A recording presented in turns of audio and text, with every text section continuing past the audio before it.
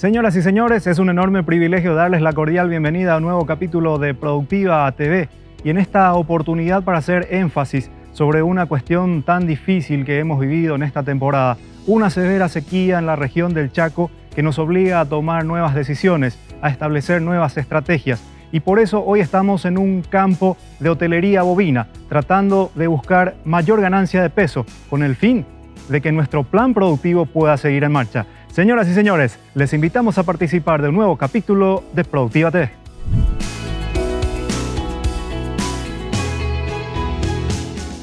Estamos aquí en la región de Pozo Colorado viendo el actuar de los productores tratando de salvar lo que hace a un año ganadero, utilizando la herramienta de la hotelería bovina. Conozcamos el manejo que desarrollan en este emprendimiento. Todo empieza con el cliente que se acerca a nosotros y quiere contratar nuestro servicio. ¿verdad?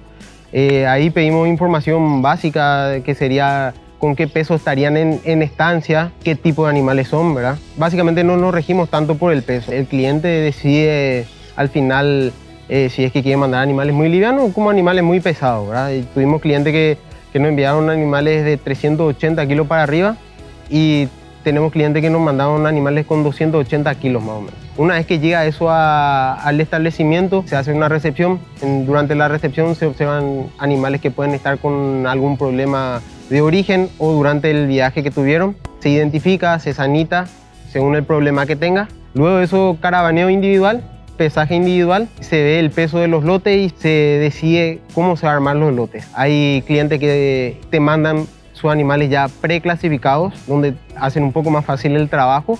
Hay otros donde por la urgencia, la necesidad que tienen de enviar los animales, te envían y nosotros nos encargamos de hacer la clasificación. Tratamos de establecer rangos de 10 kilos de diferencia entre el animal más liviano y más pesado o directamente depende de cómo el biotipo que llegue. Si llega mucho biotipo híbrido, tratar de hacer corrales, por así decirlo, tipo Bradford, tipo Brangus.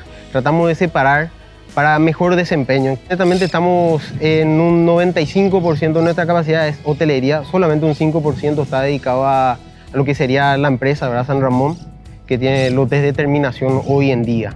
Nuestra capacidad está para las 3.200 cabezas por un giro de 70, 80 o 90 días. Tenemos bloques que son para 190 cabezas y tenemos bloques que son para 110 cabezas. Con las capacidades que te dije, ¿verdad? de 190 y 110, eh, obtenemos mejores resultados en los animales.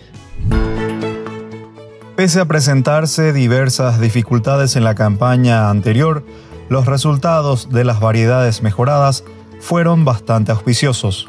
Probamos varios materiales de, Intacta comparado con soja RR1.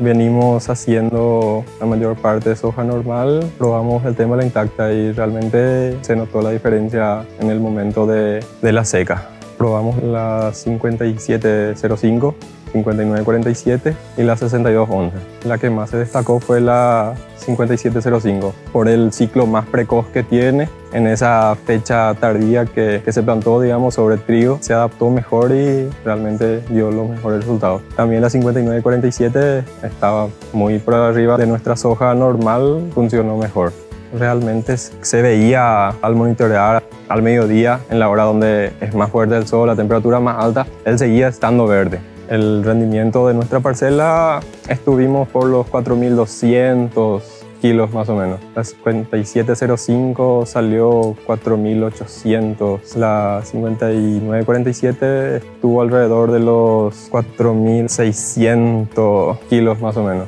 Vamos a volver a, a plantar las semillas de Monsoy tienen una buena resistencia. Todos deberían de ver y probar. Yo plantaría de nuevo por el plus que aguanta más el estrés hídrico, que no sufre tanto como la soja normal. El desarrollo de variedades con resistencia a la roya permite apuntar a una producción más económica.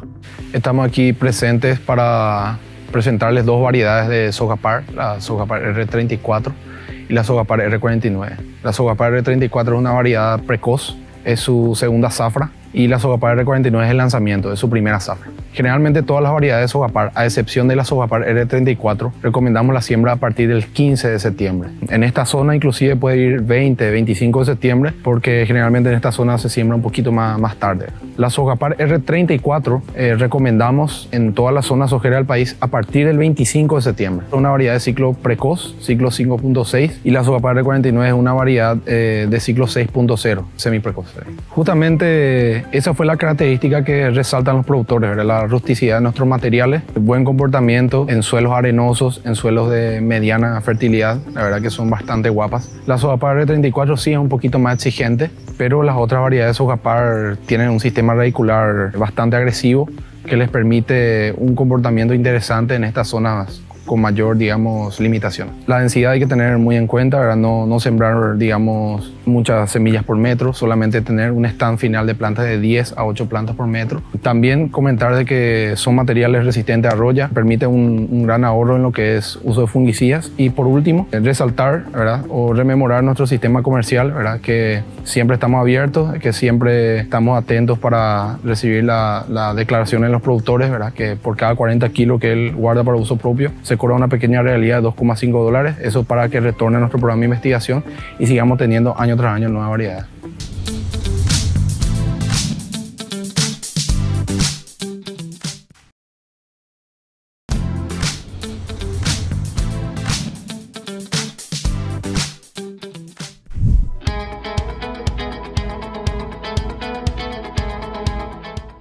Otro factor importante que acusó el sector productivo ganadero en esta temporada fue la caída de los precios. Por eso, establecer una dieta realmente estratégica dentro de estos planteos de hotelería bovina fue un gran desafío. Todo depende de qué, con qué peso llegan esos animales, ¿verdad? Para también definir el periodo que van a estar de adaptación. Aparte de eso, vemos el consumo del animal y cómo el animal se comporta en la batea. Nunca se sabe qué tipo de animales vos estás recibiendo, si alguna vez fueron suplementados o no. Tratar de cubrir todo ese espectro. Si el animal es muy liviano, va a tener una, un mayor periodo de adaptación. Si el animal ya viene pesado, ya sabe lo que es comer en batea, la adaptación va a ser corta, va a ser rápida y va a pasar a la terminación. Todo depende de cómo llegue el animal y cómo se comporte el animal en los primeros días dentro de la batea y dentro del corral. Para la terminación, si entraron los animales pesados, podemos hablar que 40 días después, 45 días después, esos animales estarían para salir del confinamiento. Todo dependería mucho de qué es lo que busca el cliente, si busca tener la carcasa más pesada o se rige por un tema económico. En promedio estaríamos con 12,5% de fardo, fardo que producimos nosotros acá dentro de la estancia. Tenemos eh, pangolares y campos de fardo de Mombasa. Después pasaría a maíz molido, entre el 43 y el 45%, dependería mucho del precio del que consigamos el maíz. La burlanda estaría en el 14%, la cascarilla soja en el 30%, el núcleo que utilizamos de granusa, que trabajamos con ellos, estaría en el 3% más o menos. Completaríamos con un poco de urea que le agregamos por afuera, el 0,8% y el agua que estaría entre el 20 y el 22%. Todo depende de cómo estén los insumos, los precios de los insumos, se hacen los pequeños mini ajustes que no varían, que no varían de eso. Las estrategias para el empleo de una terminación eficiente de los animales ayudaron a lograr buenos resultados pese a las adversidades conocidas en el segmento pecuario. Cuando empezó esto estaban muy justos los números, tuvimos que hacer, eh, afinar mucho la punta de los lápices pero es que no había opción, ¿verdad? No había opción, era lo que había, era lo que se presentaba en esa situación, el Chaco estaba muy complicado. Acá esta estancia, por suerte, tiene la capacidad de hacer abundante voluminoso, fardo, y eso ayudó en cierta manera a poder ajustar las diferentes inclusiones del fardo en, la, en las dietas, ¿verdad? Y con eso conseguimos inicialmente ajustar un poco los precios. Después, si una vez que le tomamos ya el punto, ya fue de vuelta, hubo un incremento de precio, se consiguió en otro insumo, entonces ya fue, fue un poco más eh, llevadera esta situación. Y este es un confinamiento para 3.200 cabezas estáticas. Hay una dieta de adaptación para animales que vienen normalmente de otras zonas. Tenemos una dieta de transición y la dieta de terminación propiamente dicha. Acá hay animales castrados, enteros, y en todo este periodo se fueron incorporando insumos que hicieron variables las dietas, las diferentes dietas. Por ejemplo, frecho de arroz, más fardo, menos fardo. ¿verdad? Y bueno, yo creo que estamos en las diferentes etapas con un buen consumo, sobre todo un buen rendimiento en el desempeño de los animales. Nosotros estamos acá brindando soporte en la parte de confinamiento, ¿verdad? Estamos con todo el soporte técnico, el software, el acompañamiento, capacitaciones, una relación bastante fluida acá con el, con el ingeniero Catáneo. Disponer de herramientas para el tratamiento de semillas permite arrancar la siembra con menos riesgos de ataque de plagas y hongos. La tecnología que utilizamos con la máquina que tiene la empresa, una máquina industrial, se trae al recinto del, productor donde se hace el tratamiento de semillas y lo denominamos on-farming. El producto utilizado aquí en esta área de, ensayo eh, son dos productos, eh, uno que es un fungicida a base de carboxin más tiram, que es el Vitavax. Este producto viene ahora con la tecnología Inner Force para darle arranque al cultivo, en este caso al trigo. El mismo tratamiento se utiliza también en soja. Paralelo a ese producto tenemos el Biocime, un producto que le da un arranque también a la planta. Se utiliza tanto en tratamiento de semilla como también en la aplicación floral. Es un producto de regulador hormonal a base de algunos péptidos, sucratos y principios naturales de, auxina, gibrelina y citoquinina para que la planta pueda ejercer su funcionalidad. La ventaja principal de estos productos es el arranque que le da, un mejor enraizamiento, podemos observar a campo, que le ayuda al cultivo a ganar espacios físicos en el suelo para soportar ciertas condiciones adversas del, del tiempo, del clima. El producto en sí hace que el cultivo tenga un reto económico, da una producción mayor, el producto se paga, como se dice, y le sobra más también al productor para que el productor pueda tener una ganancia a partir de la utilización de estos, de estos productos. Arrancar la campaña con un stand uniforme de plantas respaldado por un buen tratamiento de semillas apunta a una alta productividad desde el vamos. En esta ocasión me corresponde hablar de Acronistop y Baul HP. Acronistop es un excelente cura semilla para el establecimiento de nuestro cultivo. El efecto fitotónico que nos da el fipronil y el efecto verdor que vemos una vez establecido el cultivo es por el piraclostrobin. La dosis recomendada de Acronistop es de 200 cc por cada 100 kilogramos de semilla. Eso nos permite bajar el caldo y trabajar con un caldo menor a lo que veníamos trabajando. El Acronistop es excelente para el establecimiento del cultivo, da un efecto en verdor y un enraizante mayor en las raíces. Eso permite que tengamos un stand de planta excelente. En cuanto a la residualidad, una vez emergida, tenemos una residualidad de 10 a 15 días. Es excelente para mosca blanca, vaquita, en la parte radicular, excelente control de elamos y coro. Es el mejor tratamiento de semilla para mancha púrpura, que es la única familia del piraclostrovin que controla mancha púrpura. El Valo HP es nuestro inoculante premium, está a base de barrilisodio y viene acompañado de un protector que se llama Extension, que viene también acompañado de una molécula señal, el cual permite una rápida colonización tanto de lo inoculado y de las bacterias naturales del suelo.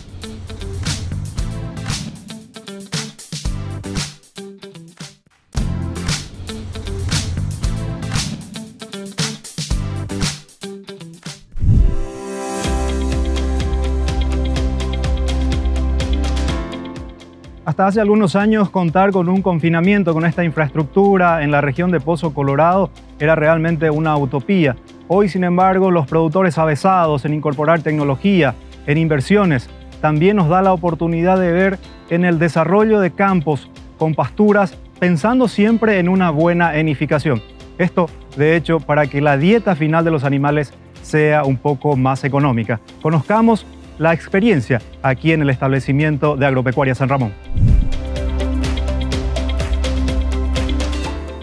Nosotros habíamos ingresado animales antes de todo lo que ocurrió, antes del desplome de los precios por culpa de la pandemia y tuvimos que sacar los animales al mes. No cerraba por ningún lado los números, empezó a subir el precio lentamente y metimos nosotros los animales con el riesgo de perder mucho y perder poco, ¿verdad? no podíamos darnos el lujo de parar, no por la, por la situación de la sequía en sí, pero necesitamos producir. Nos obligó a meter los animales gracias a las mini lluvias que tuvimos, hicieron que esos animales que salieron del confinamiento hayan ganado en promedio entre 500 y 800 gramos la pastura, ¿verdad? que nos ayudó muchísimo a meter los animales más pesados de lo que habían salido del confinamiento. ¿verdad? Y después metimos los animales al confinamiento que nos ayudaban a salir a los 60, 65 días. Tuvimos un, un muy buen rendimiento. Dejar tu animal en el campo te hace perder muchos kilos, te puedes quedar sin agua, te puedes quedar sin pasto y se te puede morir el animal.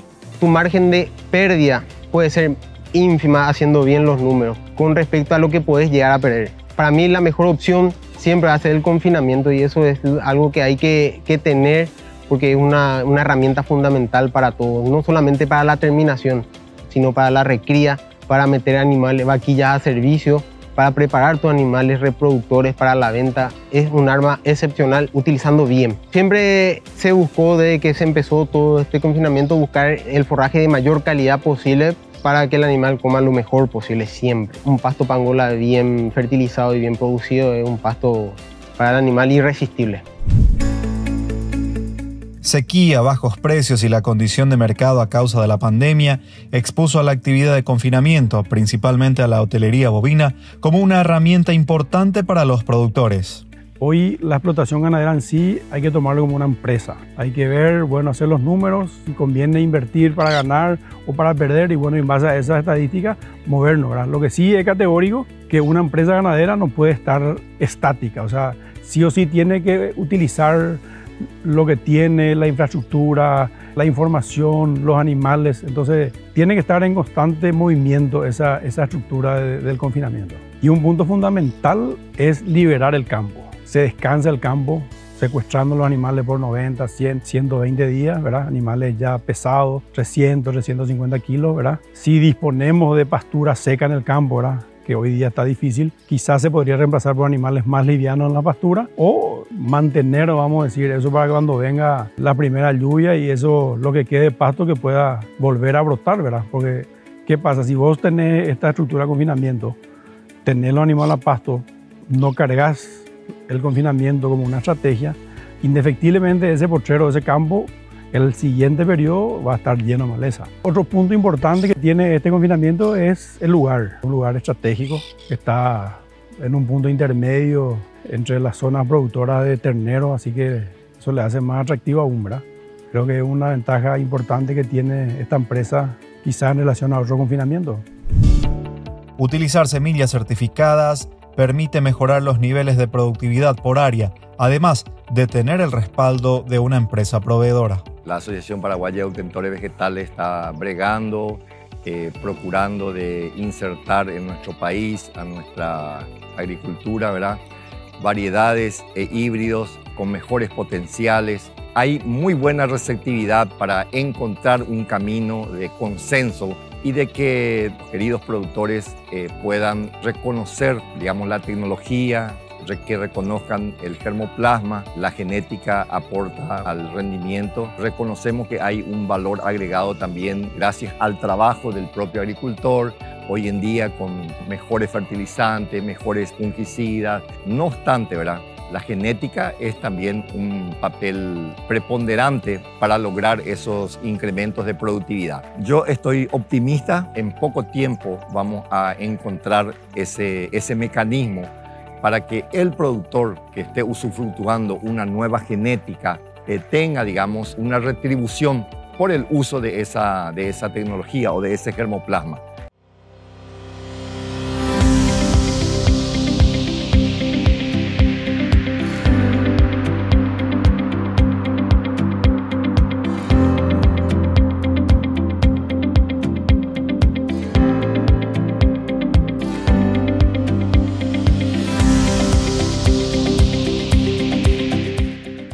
Así estamos poniendo punto final al programa de la fecha. Espero que haya sido del agrado de todos ustedes.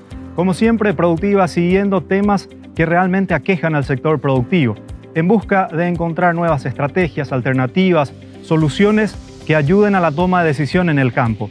Agradecemos a las empresas que hacen posible que Productiva TV siga emitiéndose. Nos reencontraremos la próxima semana cuando estemos haciendo un nuevo capítulo de Productiva TV.